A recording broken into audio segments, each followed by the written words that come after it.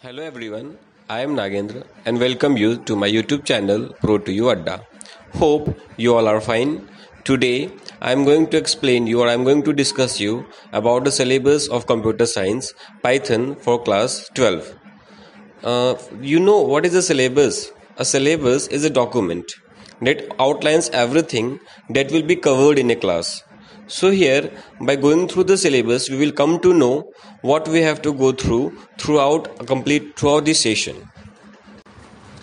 Uh, syllabus is also available on CBSE site. You may download it for your preference and here we will be discussing something about learning outcomes.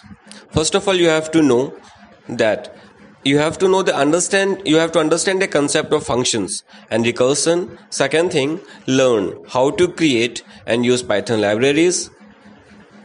Then also we have to come to know before going on deep about the syllabus first of all we have to go with the learning outcomes which will help us that what we will be going through throughout the session and what we will getting as an outcome we have we will be uh, we will able to understand the concept of function and recursion. And also we will know how to create and how to use a python libraries how to use a file handling a concept of algorithms also and then a basic structures like list stack and queues.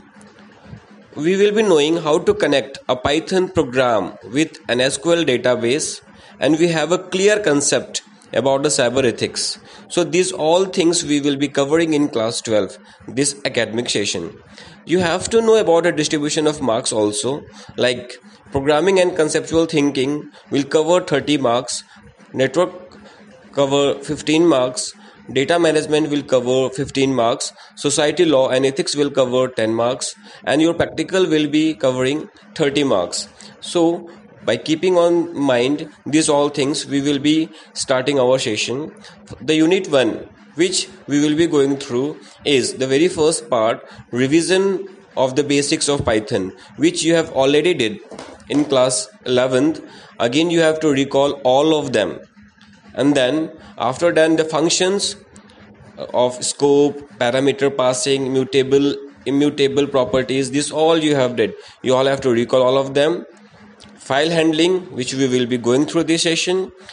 Uh, python libraries how to create how to import the python libraries we will be going through. Recursion efficiency these all are new for you. So we will be going on one by one for this.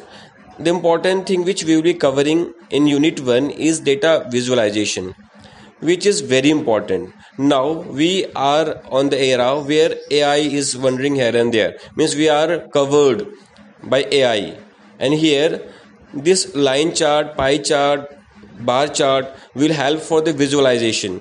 So these things we will be going on deep.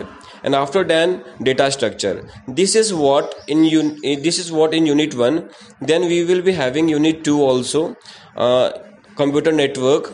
Then in unit 3 database management. In unit 4 law and ethics which we will be covering on next of the day. So for today that much. Thank you